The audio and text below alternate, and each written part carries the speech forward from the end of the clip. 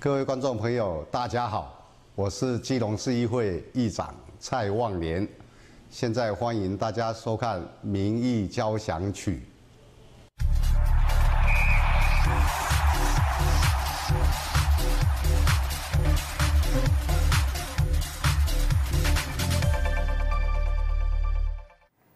观众朋友，大家好，欢迎收看这个礼拜的民意交响曲，我是蔡小军。在今天的节目当中，为您邀请到三位译作，要带大家来检视我们的基隆城市博览会、我们的都市更新、交通建设，还有我们的基隆捷运。首先为您介绍，第一位是我们仁爱区市议员，我们的张芳丽张译作。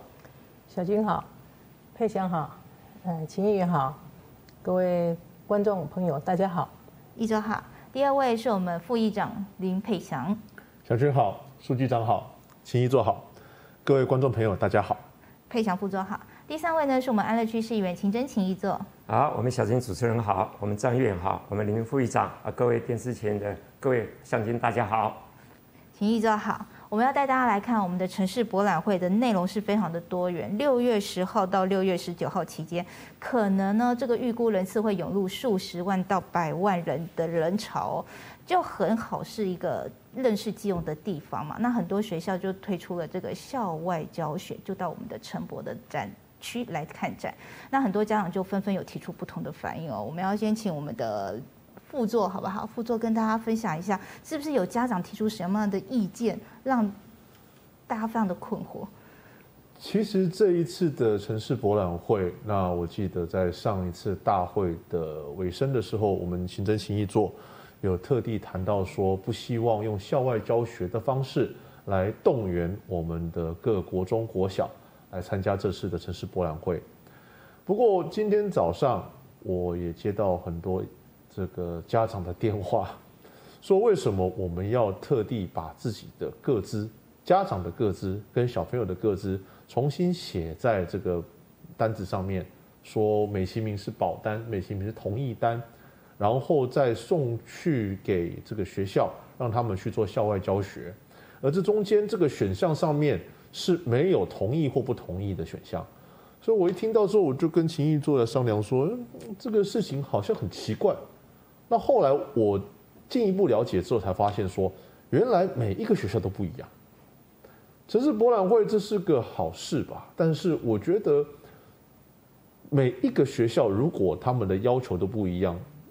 难免会让大家觉得很错乱。我们都希望城市博览会是个成功的行销活动，但是如果是成功的行销活动的话，那它的内容应该来讲要是精彩的，要是有价值的，可以让家长自行带着孩子去做学习、去做观摩的。而如果是用这样子用动员的方式，然后教育处也好、市府也好，这样去做这种强行动员的方式，我个人觉得。不太妥了，而而且能的话最好说每个学校的作业口径统一一致，我觉得这样是否是似乎是比较适合的。是，所以就是解惑很多家长的疑惑啦。那秦真、秦一桌这边其实也接到了不少，对不对？是这样子，因为在我们这次在大会中的时候，我们又接到很多的家长的一个反应。说陈博会似乎学校要发动带学生小朋友去参加这个博览会的一个参观，但是呢，这在这个时间呢，正是我们疫情当头的时候，很多家长的担心，担心什么？说把小朋友假设带到现场，人多且群聚的情形之下，如果不小心染遇到这个所谓的呃疫情的话，那小朋友他们的责任谁要来负责？所以说，尤其现在我们看这几天，小朋友感染的率高，几乎都是脑炎的一个并发症出来了。所以这对家长来心理上有非常大的一个压力，是在要小孩子去呢，还是不要去？叫小孩子叫家长非常两难的抉择。但是你不要小孩子去，那小孩子看到别的同学有去，他又跟爸爸妈妈吵，为什么某某人可以去，他又我就不能去呢？所以产生这种现象，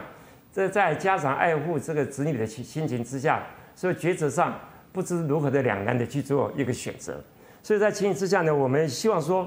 在这个博览会之中，学校不要以校外教学的一个所谓的标的，让学校来实施这个校外教学的一个方式来带到这个陈博会去做啊，陈博会去做一个参观。我想应该把这个空间放给与家长跟学生之间的亲子关系去参观，因为必然各位家长如果带着自己小朋友去，我想他的以他过去的这个呃岁月的成长，也会将基隆的过去的历史多多少少看到所谓的一个展示的一些呃呃这个这个布幕画或者公告的一个说明的话，也会给子女解释。当然，说要把小朋友教育在为认识我们未来，在过去还是未来的基隆的发展，在我们学堂课上以我们的历史科目来的教学，我想那就是非常恰当的一个可行的方式。所以说，今天在这种情形之下，家长一直在询问说，万一学校带着小朋友去染疫了，这个责任是林佑昌市长要负责呢，还是你杜国正市呃处长要负责？所以这个情形之下，我在这边也呼吁我们教育单位。我们市长，你慎重的考虑，是不是不要有强迫性的让学生或呃一定要去到现场做校外教学的一个方式，也不要让家长为难那抉择，因为跟子女之间会产生某部分的一个大家的争议争执，所以希望我们老师跟校校长们，你们要带学生出去的时候，一定要注意到所谓的分流以及相关的防疫措施的安全的一个配套措施出来，不要一窝蜂的所有的学校都一窝蜂的挤在同一个时段去。然后更可耻、更要注意的是，不要要求学校每一个校长要带你的学生的多少的比例去到现场去参观。听说有的学校要求说一定要五十个或六十个，或者你的百分之五十的学生要到现场。我想这是对校长或老师来讲是非常大的压力，对家长来讲也是非常大压压力。所以在此呢，我郑重的呼吁我们教育单位要审慎的考虑，不要用说所谓的指令式的这个方式。来指导学校这个校外教学这次的城市博览会的一个参观，是，所以城市博览会其实对金融来说很有很有它的意义在，可以看到很多丰富的内容。但是就是还是要尊重家长啊，尊重学生，希望用他们的方式来带让他们认识基隆。那我们要请教我们的书记长了，有没有什么样对陈博有其他的看法呢？嗯，其实他要求学生去参观，啊，对象好像有一点。嗯，不太妥当，就是连幼稚园都有啊。幼稚园的小朋友，你去参观这些呃建筑也好啦，很多的呃一些我们以前曾经啊在基隆市的一些老旧老旧的东西，幼稚园的学生他不懂，他真的不懂。你叫他去看，小朋友回来也不知道要要看什么。其实他的对象应该是在高中或者大学，哦，连国中都还，我还觉得都太小了，哦，都太小，他们真的不知道什么叫叫做基隆的一些历史建物。那我是觉得这样子的话，哈，会第一个让学校真的是很头痛，哦，幼教的的这些老师。因为小朋友他真的是要付更多的时间跟精力去来照顾他们，啊，这样子有有效果吗？我是觉得呃效果不大，效果不大啊。尤其你说基隆市的呃城市博览会，它现在好几个展区哈，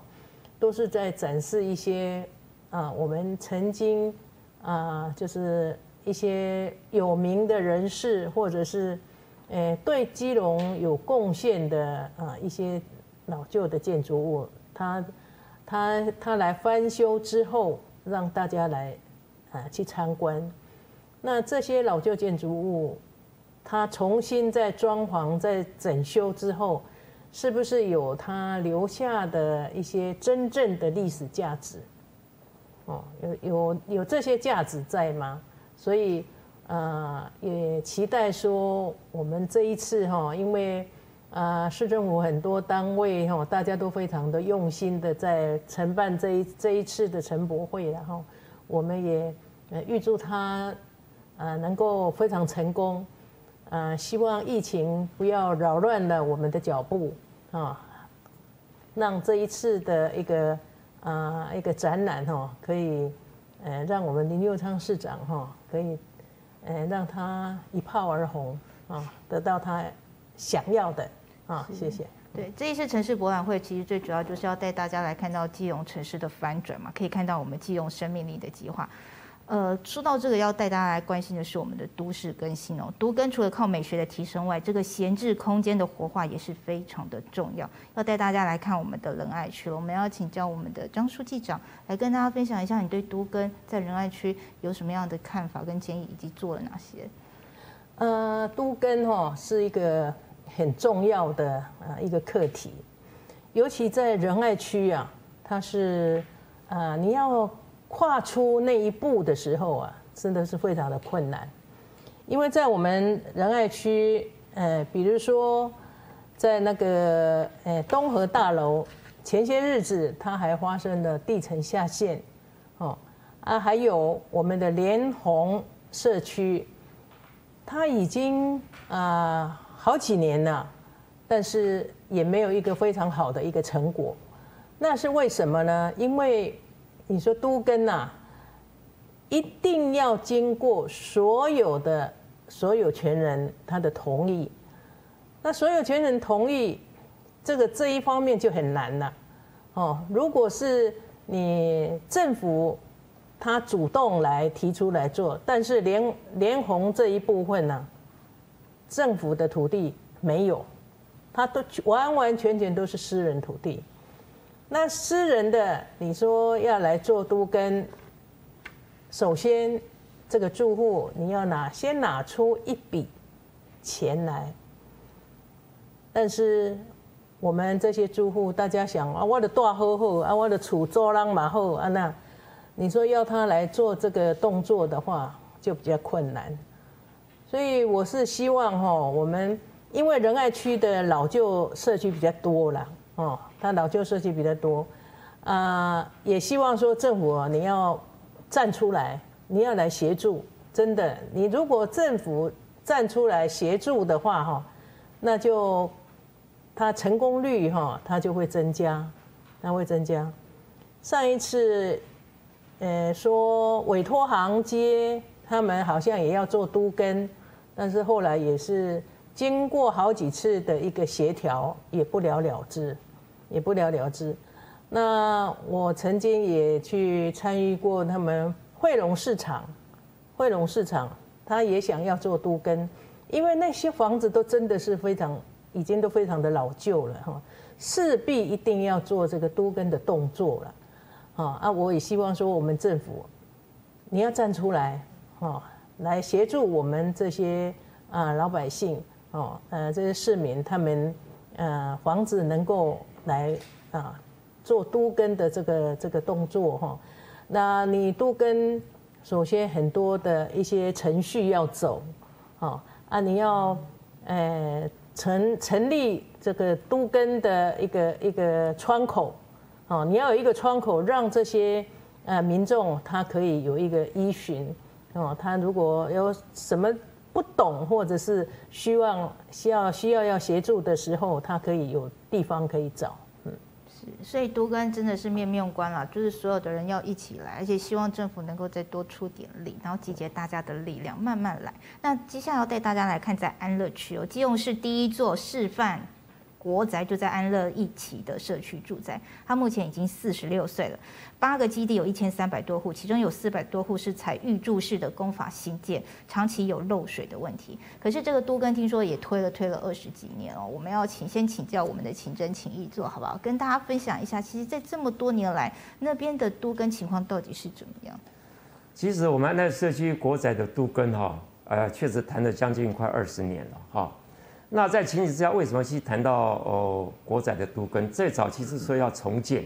好，最早期讲重，因为那过去我们的社区大家知道它是预筑式的这个结构，那预筑式的结构在基隆多雨的这个气候之下呢，它的一个所谓的呃防水率不会那么好。然后最近你看这几十年来，后续房车的一个漏水、渗水、屋顶的坍塌等等的一个现象，危险度都出来了。所以说，我们也曾经在议会，我们跟张议员还有我们林亮已经我们积极的讨论说，如何的让我们市政府能积极的介入，来这个把这个一起的过来做全面性的以现在的法源的依据做都根的一个方向去推行。所以说，在我们呃这几年，我们也替我们安乐世界一起过在呢，向银建署申请了一些都根的基本的费用，哈，都有的两百多万，有的三百多万不等，哈。因为但是到现在目前，安乐市区已经他把整个安乐市区一起的八块的基地分作八个基地，以前是统一的基地要去做根都根，因为统一的一个基地的话，都根上有它的困难度，所以说把整个安乐社区分成八个地号来作为一个都根的单元，所以说目前有成立了五号、六号、七号的三个基地的单元。那现在在这个成立之后呢，呃，我们市政府也成立了一个辅导团。那辅导团是由外面的一个所谓的都根的学术机构来辅导他们，将整个我们都根的一个程序以这个过程来向他们做一个所谓引导，让他们知道在都根的过程中，大家的认知以及你要付出，以及说公共设施的政府的负担的一个奖励的方向，让大家认知上能一个取得共识。但是目前似乎在这个共识上，大家还没有一个所谓很明确的一个认知。为什么呢？因为在整个杜根的这个范围内一起里面，它所有的巷道道路都属于我们市政府的产权。所以在那种情形之下，市政府的产占的比例啊，占了百分之三十几，所以说也蛮高的一个比例。所以说这样的情形之下，我个人认为说，假设安乐区一起的都根，在大家的成立都根会的认知之下。我们市政府是不是应该积极的来协助与介入？所谓介入，是把大家没办法共识的部分，由我们市政府介入为公办都根，转为为公办都根，可能取得大家住户的彼此之间的一个呃信任感。因为现在彼此大家的对于这个呃都根将来的权利这个变更变换所得是多少，大家心中都非常大的一个疑虑。所以本席认为说，假设我们安乐世界一期都根要成立的话，我在此呼吁。我们市政府是不是可以介入介来转变为成公办都跟？因为公办都跟大家百姓住户们对市政府的信任度比较有安全度，啊，因为现在彼此之间大家在由于外商或者是说将来的住户之间的一个纠葛，大家的这个摩擦就多多少少会产生，所以要共识起来是非常的难，并不是说我们不希望说这个都跟而不去完成，因为你看我们外县市，尤其新北，他们几个都跟成功的案例。你后面都有市政府积极的介入，介入什么？设定一些奖励条子、奖励条例给他们，容积率比例放宽，让他们有有所谓的得到后面的一个公共设施比例的该有的一个将来的地权的一个比例。所以说，希望说我们市政府既有百分之三十的这个呃所有权的话，也希望他们投入这个杜根来协助，让我们住户大家能彼此的一个信任度能增加。是，就是建议市府来公办都跟啊，让大家可以提高这个奖励机制，大家就更愿意来进行这样的。我们要请教佩祥副座了。那在这一块部分，你在在地的心声，你听到的有哪些？有什么样的建议跟看法？一楼跟二楼以上的租金不一样啊，一楼租金一个月可以到八万多块，二楼以上不到不到三万。那你要做做都跟的时候，建商一定会要去统整整个意见，然后。一楼总是说我们值得更多，我们值得更多，我们值得更多。啊，二楼以上说我们现在赶快建，一楼说不行，你要符合我们的要求。所以好几次，我记得在那个三明星光那个旁边那个是叫以前的李明会堂嘛。李明会堂是老长照居长照居对，他们在那边办了至少四次，我我们我我们我们至少四次的这个说明会。哇哦。然后四次说明会的时候经过，然后那边居民就跟我讲说：“副座，你要帮我们讲话，帮我们争取啊。”我说：“好。”如果你们能够出来一个，如果协调出来一楼跟二楼以上能够协调出来一个好的答案，我跟秦毅做两个，我们帮马上帮你们争取，我们马上帮你们跟政建商建商讨论怎么样去做，我们马上帮你跟市政府做事。嗯。然后上最后一次问我，好像是两年前，然后后来都没有下文，对吧？后来是因为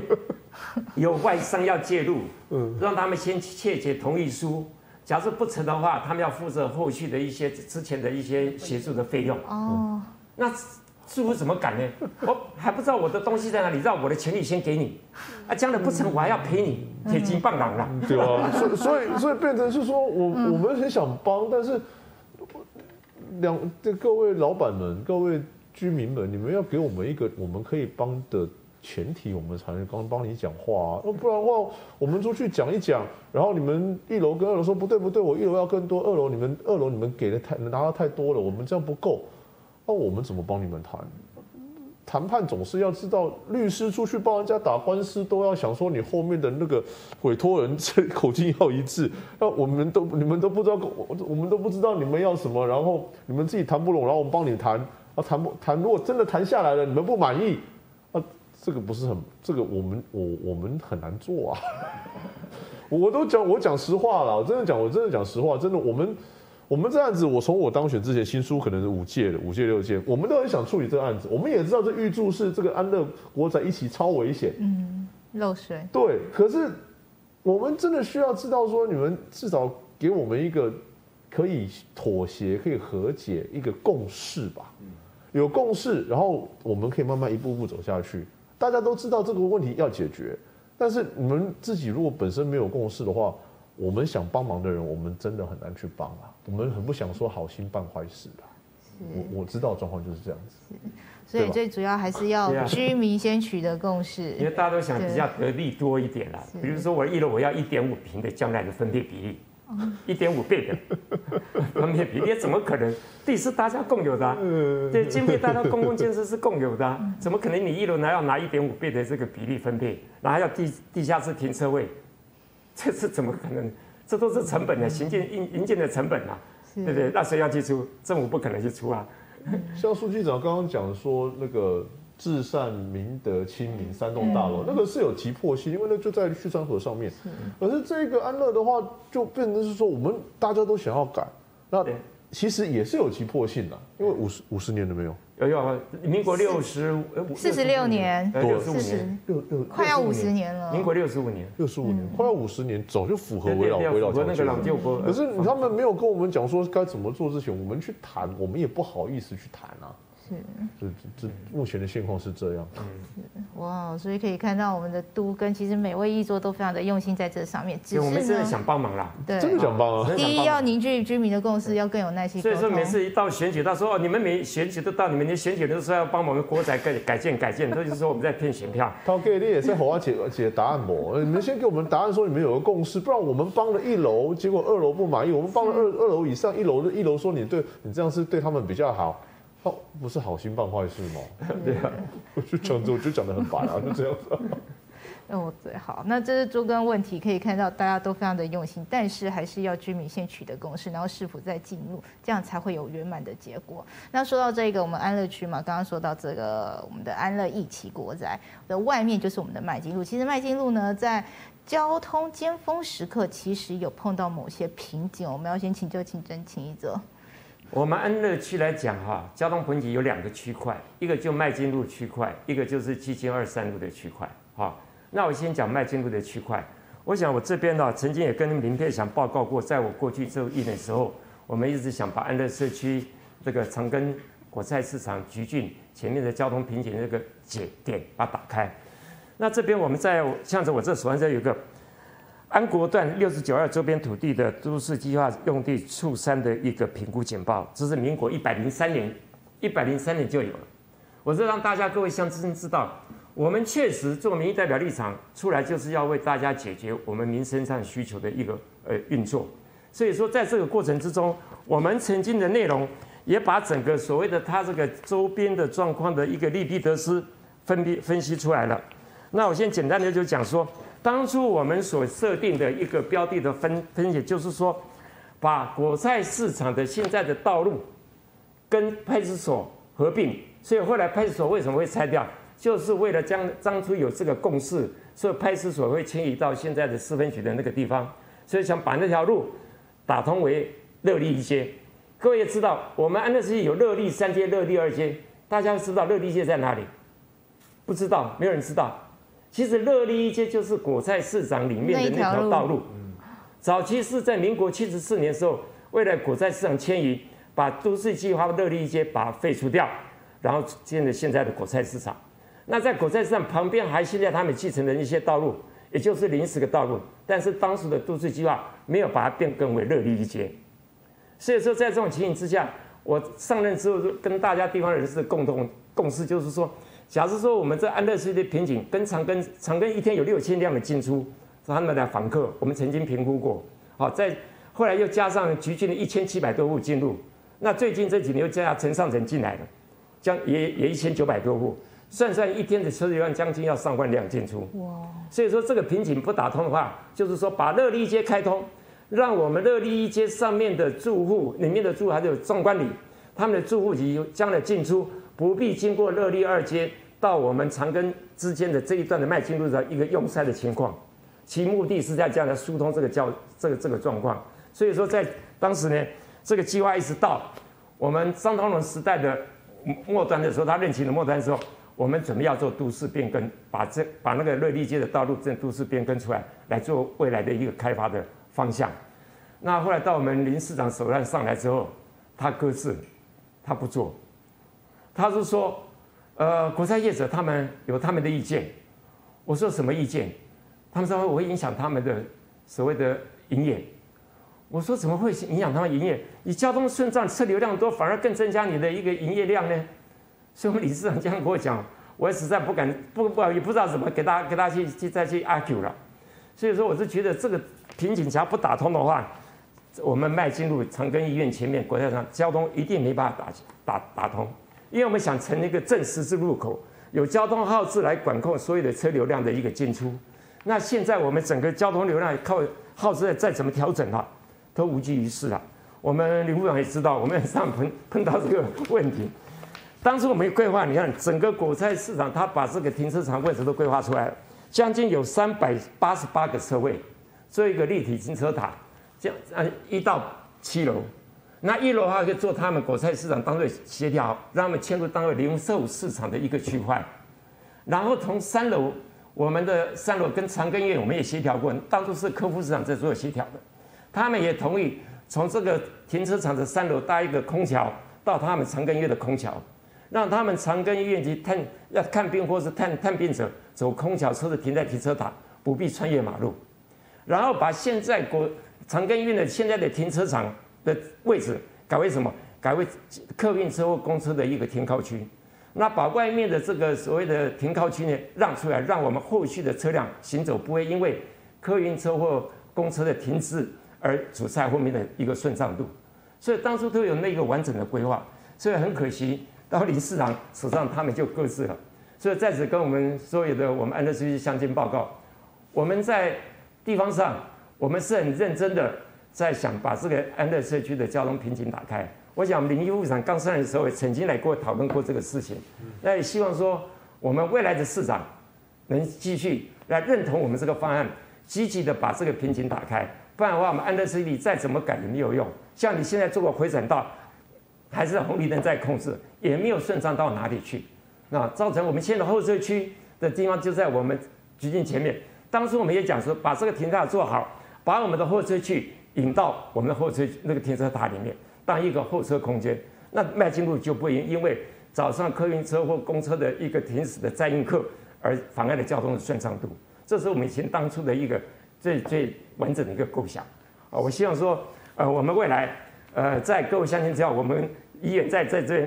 继续支持我们，我们要继续努力。我们参议院还会留一场，我们一起来努力把它完成。是，我就可以看到原来还有这样的方案哦。那当然说到后面一点，比如说在大五人地区的部分，我不知道我们的配强副座在那边又有发现了什么地方的民众心声，还有我们的那个车呃九零二六。先讲大五人的车道好了，其实。最近我常 常我每个周末只要他们一开始调拨车道，就有人到我粉丝专业在骂我，说你都不知道，你又没来看。我说我在看啊，我知道这状况啊。因为因为他们派出所都会跟我报告说，现在要开始调拨车道。那现在调拨车道的原因是因为从万里往基隆方向的这个车流量已经达到二比一，而且它数据全部出来了。自从第一次调拨车道失败之后，公路总局、跟警察局、跟交通处。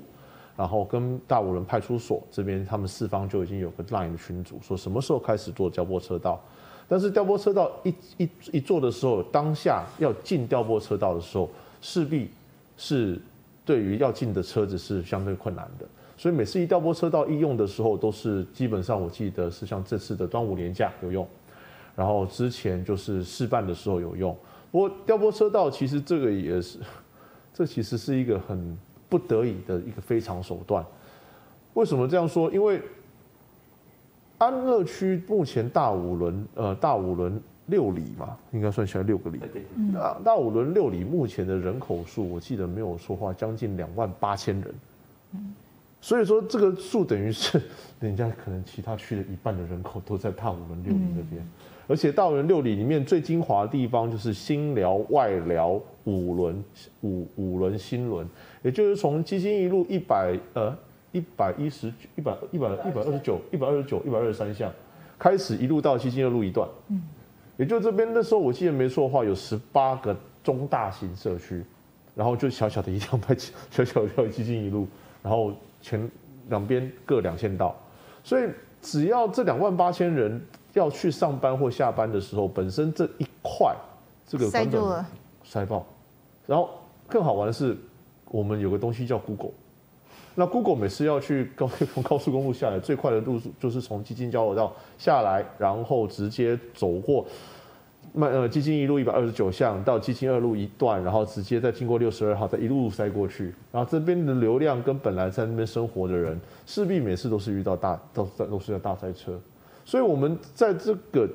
很容易塞车的前提之下，我也好，行政情谊做也好，我们都是很希望说，大众运输工具，不管是一八一五，还是跳蛙，还是九零零六，还是九五三，多多少少都可以把这个运量把它疏解掉。因为如果全部人都是上班，就是骑车还是开车的话，对交通流量市场大超级大灾难。嗯，不管你是上二高还是到一高，那讲到就是除了在安乐区的国道公车里面最承载率最高的，除了国道国光客运的一八一五之外，再就是首都跟大都会联营的九零二六。那九零二六在五月，我记得五月十三号、五月十四号的时候，呃，大都会、呃，首都他们联合发表声明说，在十月份结十月底之后，他们就决定退出这个九零二六营运权。那这时候一这个事情一出来，就马上炸锅。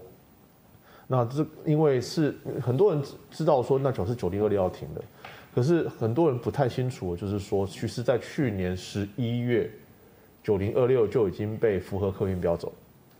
那在昨天上昨今天上节目之前，我昨天刚好下午在立法院跟立法委员洪孟凯，我们开了一个这个协调会，请了大都会首大，我们请了大都会首都，还有符合皇家，就是营运的两营运的这个前后的业者，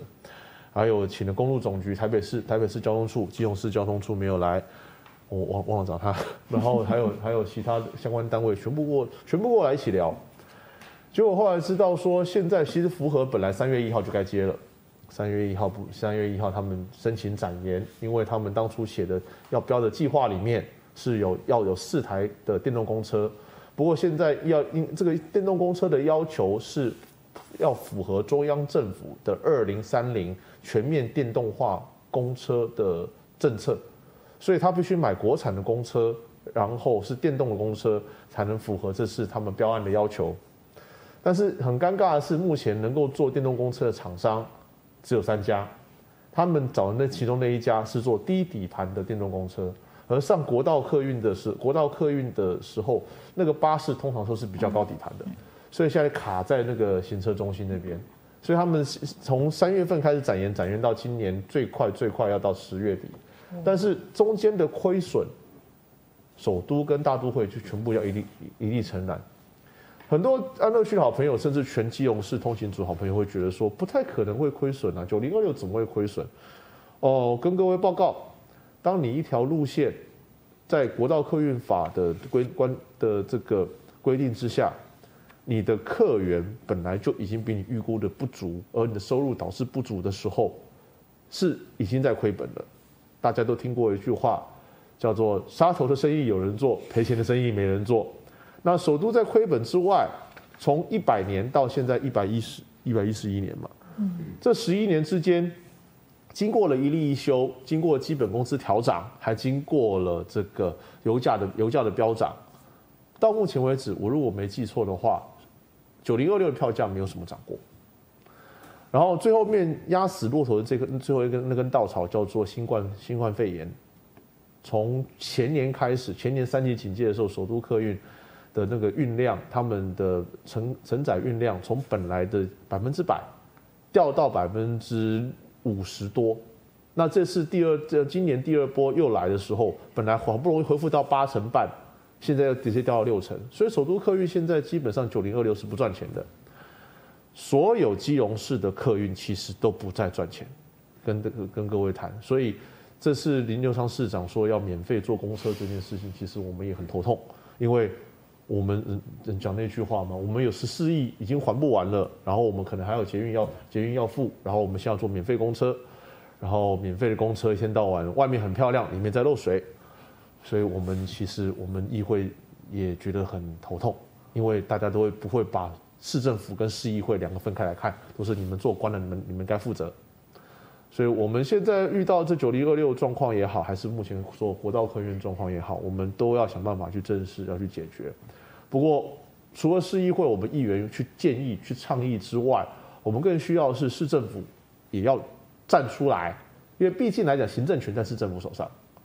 我们能做的就是我们通过自己的关系、自己的管道，想尽办法跟中央政府去做对话。但是跟中央政府做对话，其实是非常困难。以一个市议员来讲，是非常困难的事情。所以，能够的话，我们还是在这边呼吁市政府：如果你们也跟我们一样看到人民的问题，看到人民的需求，麻烦你们主动一点，站出来，帮他们多想一点，不要等到我们几个一天到晚在讲当中，员工告不回家，告不回家，然后你们最后面说啊，我们来晚了，这样好像不太好。我的想法是这样。是，所以还是要强力的基隆市政府出来为人民着想。而说到这个，要带大家来看哦，就是这个我们的不少民众最近就反映啊，就下午三点过后，从基隆往台北方向的区间车，竟然连停驶三班，然后有人就等了两个小时。我们要请教我们的书记长。啊，因为最近哈啊，很多那个搭车的朋友，他本来不知道说台铁在两点半后，好几个好几班的这个区间车都停驶，他们觉得非常的纳闷，因为一等就等两个多钟头，所以他们会打电话来问说为什么呃我们以前没有这种现象哈，那为什么现在会呃发生这种状况啊？所以我们呃那时候那个呃谢国良钱立委，嗯，他也接到了很多的民众的电话，他就主动打电话去询问，结果他的答案是因为啊疫情的关系，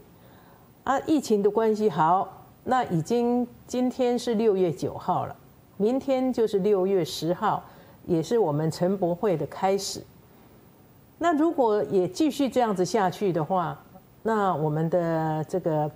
好朋友们。他如果来参来基隆参观，他要搭这个区间车回去的话，那是不是也要等到两个多钟头？啊，我希望说台铁，你既然已经那么长的时间来减班，那我相信从明天开始你就要恢复了，因为即将要到来的就是我们基隆要来参观的这些呃外县市的朋友们。或者是我们呃本本市的这个六堵五堵啊啊这些戏子这些朋友们，他们是不是也能啊很正常的来搭我们的这个交通工具哦？因为呃毕竟这个这个台铁的这个这个区间车有好多好多的朋友们，他们已经习惯性的来搭这个交通工具了哈，所以我希望说。不要再有这种啊减班的哈啊状况，是不是？它慢慢的减，慢慢的减，将来在我们的捷运还没有开始，就已经减到没了啊！是不是要把我们的基隆火车站也废掉了？啊啊，那这样子就不太好。我是觉得说，呃，这个基隆火车站呢，是从呃很很早很早。呃，可能是日据时代就有了。那我们呃也曾经也谈过，是不是是否要要把这一段从八堵到基隆的这个铁轨要下地或者是高架都不可能的情况呃之下，所以呃，我是希望说台铁哈，真的要认真来思考这件问题。嗯，是最主要就是要让大家能够方便方来回啦，嗯然后回到回到家。那说到这个回家这一件事情，很多人就是开车嘛，开车回到家会找不到停车位。这一件事情我们要请教清真请义做，因为他在四维里那里发现，其实争取了一些停车位、停车场的改建，我们要请教义做。因为我们整个不光是我们安乐区的四维里，我想整个基隆市的区里的停车的需求啊，是大家非常渴望的。因为每个巷道啊，你看晚上晚间回来，大家都找不到车位，都停在巷道里，也造成巷道之间的一个停车的一个安全度的一个疑问出来，问题出来。所以说很多的巷道会划为什么消防车道啦、什么红线的、都不准大家停车。那在我们议会的时候，我曾经也一直要求我们交通处还有民政处配合，把所有的区里之间的空地做一个盘点，然后把可行的一个区块，然后开辟我们社区的一个公共停车的一个场域或空间。那在我们安乐社区的四维里来讲，刚好是在我们现在所谓的建德国小的一对面侧，以及现在四维公园的一个右侧，张近那边有六百平的一个呃区块。我曾经也一直在议会建议过，它的地要是安国段的一至二五三号地地段，它也就在樱花社区的旁边。那那个地方现在的整个区域块来讲，不单单是四维里的一个需求，而是我们周遭的莺歌、七贤、三明的所有的那边的住户，也甚至也许应该里他们的停车空间不足，也会往那边停。所以说那个空间，假如是今天还是做个平面的一个所谓的停车空间，只有八十辆的停车空间，完全不符合我们周遭里将近七千户的一个停车的需求。所以说我们一直在要求说，把这个区块做一个多功能的一个使用空间出来，因为这个地是私有地，市政府的地，所以市政府可以积极的去投入做一个多功能的建设。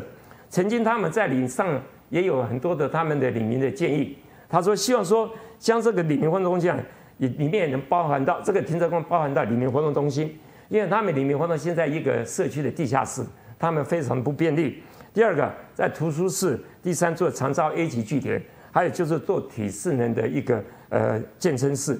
然后三楼以上去做停车场，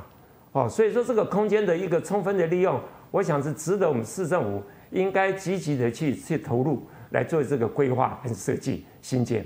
我想这个假设你不做好的话，我想这个空地牌那边其实实在不值得我们大家在这边呃天天在找车位挤车位，因为只有八十个车位，所以说八十个车位不符合七千多户的需求哎。我想我们市政府的我们的这些呃长官们，你们要知道，没有停车之间的住户的今天这个心中的一个苦闷以及渴求啊，所以说希望您在这次我大会有提过，这次我们才大会结束，希望在十月份邀请我们当地的里长，还有一些市民代呃市市民，他们一起来现场会看，请我们交通处、旅游处、公务处，他们一起来勘察这个地段。希望我们的中央的立委，你要知道，你在中央应该有这个权利，为地方争取经费，来投入这个地方的一个经费的一个呃争取。这以上我是我们大家那个社区大家居民共同的一个期望跟心声。是，就是要争取多功能的停车场了，让这个停车位多，而且而且还有不同的对。运用功能。而说到这个交通，要带大家来关心我们的捷运，而先带大家来看我们基隆捷运才刚刚开的地方说明会。好，那今天是铁道局在基隆召开的第三场环境影响说明会，针对基隆捷运的部分。那看来今天的发言都相当踊跃。那我们的 R 八一、R 八二线会继续保留下来，甚至增加班次吗？因为我们都很清楚，R 八一、R 八二现在状况很不好。而第三个问题其实也跟交通部有关，因为真的很难得，我可以跟中央部会聊聊到天，我很难得可以反映到这些东西跟中央部会直接做对话。最近台铁的班次减少，造成民众不安。那刚刚长官们也跟我讲，为什么会这期会减少？但是如果减少这么少的班次，就造成民众的不安的话，倘若未来因为捷运案导致台铁有所变动，甚至离开基隆，那我想无论如何，请交通部一定要给我们一个有关未来台铁营运计划的答案。百福站周遭的公共运输的机能要如何去衔接？哦我的意思是说，刚刚你们报告有提到的事情是说，金融捷运会来降低大概百分之二十的私人运距哈。这件事首先我想知道是怎么算的，因为我们想知道这件事情是怎么样来计算，因为真的要降低私人运距是非常重要。那另外事情是说，你要降低私人运距，就是要让民众便利转乘，不管你是搭骑骑机车还是搭汽车开车来哈。那这周遭的。相关的机能哦，整个周遭的土地它是不是有足够的停车设置啊，公共空间，那甚至是人行的空间哈，以及跟我们基隆市内的大众运输如何去衔接这件事情的界面。私人运具跟这个大众运输，你盖轨道运输本来就是要提倡大众运输，但是我们会有适度的那个呃 U bike 啊，或是那个机车停车的转乘的需求，但是你说要应付小汽车，那不可能。我们可以看到这第三场的环境评估说明会，几乎所有的基隆市议员都到场。我们要先请教佩祥副座，你昨天这样整堂听下来，感觉是怎样？有希望吗？很火。为什么很火？我差点，我到最后面先离开，因为我差点，我如果再留下去，我怕我旁边那个。有一位民众先有那个有一位民众先离开，啊，我刚刚旁边那个桌子那个椅子是空的，我差点椅子抓起来就往墙向往向往桌上摔，我真的差一点，我真的差点想说 这样可能会让全国新闻不好看。可是事实上来讲，就是说我从第二次总咨询，我上任之后从第二次总咨询，我就要求要所谓的公开说明会。为什么要要求公开说明会？因为基隆捷运这个案子，波成从之前的轻轨到现在的捷运。到现在的捷运两段式，人家开玩笑什么七八段啊，什么南八段、七八段之类的。可是全部东西基本上我们不管，不只是我们一一般的基隆市民，就连我们民意代表也都被被蒙在鼓底，蒙蒙在鼓里。那我们会觉得说，OK，你要让我们知道东西之外，而且我们需要知道是参与这个重大建设，有没有参与这个重大建设的余地？因为这条基隆捷运可能是中央给的，可是是我们在用的。我们希望这条捷运来的时候，我们通勤族多多少少可以因为因有这个捷运的存在，所以我们可以很轻松的从基隆市市区直接到达台北市区。然后我们更希望说不用转乘了。可是现在从二零一九疫情发生之前，我们一直呼吁这件事情。我一直在议议会里面，那时候。我们刚刚在新闻上面看到的那位长官是铁道局的主秘李刚，李主秘。那去年还前年？去去年。去年他还是我们的交通处处长。那我一直跟他反映说，我们要知道多一点，我们需要知道多一点。我们不是，我们希望能够是，我们希望不是被告知，我们有知的权利，不是被告知。我希望说，我们能够一般的民众去听的时候。不是只有两张纸，然后听得懂，然后就就然后听得懂，然后呼隆呼隆，然后什么事我们带回去讨论就好。我们想知道是说，现在我们很想知道，你基隆市区会不会有捷运这个事情？当然，大家说哦，这第一阶段的环环境评估啊，我们不会谈论那么多。可是其实很早我们就应该跟我们讲啦。不是等到今天已经环评要做了，然后你来跟大家说明说我们准备要这样，我们准备要去做这样的捷运，然后在这个地方，然后只有，然后基隆有本来说这边有讲十三站嘛，各位十三站里面，基隆只有五站，北五堵、六堵、七堵、八堵，哎，北五堵、六堵、七堵，百福八呃，北北五堵、六堵、百福七堵、八堵五站。后面重要的四站都还没有规划，第二阶段包括三坑、呃三坑庙口车站跟旅运大楼都不见了。那这四段我们才要知道这四段到底有没有在不在，这才是我们最关心的一点。身为基隆市市议员，我最关心的是说，我能不能在我有生之年看到有一条捷运直接到到基到基隆市区？那我想知道嘛，我想大家都想知道。甚至 PTT 上面有人常讲说啊，搞不好到我死前我都看不到金融捷运到 到市区。那其实这种事情是很笑不出来的悲哀啊！那我们身为金融市议市议员，大家会想说，你们民意代表都是官，你们要找人很简单。错，我们要找中央级的官员非常困难。我们要讲中央级可以主政的官员非常困难。我如果是如果说我身为金融市副议长，我要去找一个中央交交通部的人，我要透过很多关系，我要去找找我认识的立法委员，然后我找认识立法委员之后跟他们约时间，然后跟他们约时间，看他们部会部会首长有没有空，可能不会是部会首长，搞不好只是像主秘一样的，然后跟我解释，然后解释的话，他们解释东西可能不一定会多，我一次需要带完带完所有东西，不是说我打个电话说，哎，拍谁那个处长你过来一下，不是这个样子哦，完全不是这个样子，所以我那天在那个。秦秦叔有听到那边在很酸，说我好难得跟交通部人可以聊可以聊到天呐，因为的确我们要找交通部人超难的，不可能很难找的。我们基隆市议会，我们不是中央政府。然后刚刚秦秦真秦一作也讲的很实在，说真正能够找到的是中央级的像立法委员，可是我们很少听到立法委员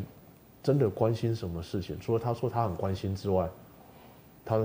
我们不是故意要酸蔡世英委员，只是他的主任说出来他很关心，那你很关心。你花点时间过来嘛，不要陪苏贞昌苏苏院长嘛。我们这当然那天都知道陪苏院长很重要，可是关心过过来关心一下，表示你的立场嘛。我们这一群人全部市议会基本上都都可以直接要召开大会的那天，可以直接开大会了。可是就没有，就因为我们想知道啊，身为真正土生土长基隆人，对于捷运到基隆这个事情绝对是关心的。那。我们最关心说，至少要给我们一个承诺，至少给我们一个方向，说这个捷运一定会到基隆市区。我们就是要这一个这一句话而已。而这句话，你们就打死不打死不肯啊！未来我们再谈，十年之后我们再说。当下当然会想摔桌子啊。是。我啦，我可能比较。所以大家很关心的是第二阶段到底盖不盖这一件事情，从八堵到基隆。我想请教那个秦毅做的意见。其实昨天那个说明会啊，它并不是做一个呃所谓的到基隆的捷运的一个规划报告说明会，而是你看标题环境影响评估说明会。其实昨天到了那天现场，我拿的资料里面只有两张纸，里面没有一句话是关于环境评估的内容，完全都没有，只是做他们的过程啊，什么哪一年做到几月份做到什么，几月份做到什么时候，实质的环境影响评估的里面的内容一点都没有。所以不知道他那个说明会是什么意义，我是觉得这是一个在敷衍我们。他从新北、台北、基隆办的这三场，听说新子、新戏子那边的住户的反应很强烈，为什么？占用他们的一些市区道路、土地的问题。那我们基隆不是啊？我们基隆既然说你来影响环境影评估，你要告知说你从我们基隆端开始到呃到八堵端，最起码这一段。的环境影响评估会影响到我们的水水保有没有？影响我们的动植物的环境有没有？都没有说那一个字，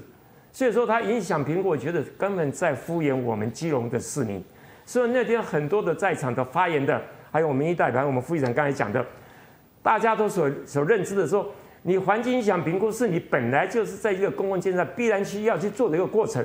而你所今天到这种地方来讲说，你要说清楚。我们整个开发从北五堵端开始到基隆端，你未来的集成是什么？不要说十年以后再讲，十年以后跟你讲，那都是骗人的了。讲不好，现在选举过，今年选举过都没有了，到二零二四再又选总统就又来讲了。所以讲实在的，我就觉得它是影响评估整个这个捷运的到基隆对市民来讲都是一个骗局啊。是，所以要动工了才算。我们最后两分钟，我们要请教书记长。啊，那天我没去，因为我觉得去了太浪费我的时间，因为根本是呃不可能的事，哦啊不可能的任务我们就不要去碰啊，所以呃在此我是觉得一听到捷运我就害怕，啊啊，所以我会远离它，就跟疫情一样。对，所以还是要看，目前还是希望台铁能够恢复它的量能了。对，要。这条捷运，这条基隆捷运很好玩的一点是，这边这条基隆捷运有百分之五十四的面积都是在新北市，都不在基隆。对，然后也不到基隆市区，然后刚好只是那时候你刚讲一句话，就是说，是刚好终点站在基隆，所以叫基隆捷运。他还讲一句话，我觉得我听到觉得我我觉得很匪夷所思，就是说，呃，未来八堵站是要给我们我们安乐区的居民来服务使用。那我就直接呛他一句话说：“那你知道 R 八一、R 八二快倒了吗？那表示中央政府总算要花钱来帮我们救 R 八一、R 八二喽。”他就说：“那个政策性问题，我们今天不回答。”啊，所以我那个如如果各位是我的话，可可能也会想摔桌子，因为我们像去那边难得遇到交通部的人，你能要给我们个答案，不是给基隆市议会或者基隆市议员一个答案，是给基隆市民一个答案。可是当你都拿不到答案的时候，那个火就会起来啊！那你总不能说就是说啊，中央这我们回去再讨论，然后讨论之后没结果，最后还是做你们的。嗯，说真的，那听说，然后顾问公司也讲了一句很经典的话：使用者付费。所以说，未来基隆捷运我们要付费，然后亏损我们也要付。那我们去做这条捷运的人，可能不到，可能目前到八堵端了。可能不到六万人，那我们要可要百分三十五万人、四十万人，全部都是新北市去做，然后我们也要付钱。嗯，这跟说好的不太一样。哦，今天非常谢谢三位一座带我们了解地方民众真正的心声，也带我们看了这个城市博览会啊、都市更新，然后还有新冠疫情，还有交通建设。相信呢，我们政府听到这些声音后。会让肌肉更好。谢谢三位，也谢谢电视机前面的观众朋友，我们下次见喽，拜拜。